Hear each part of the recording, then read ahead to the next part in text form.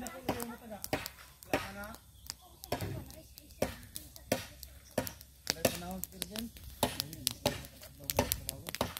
karong Miyerkules, huwag mo dayon to.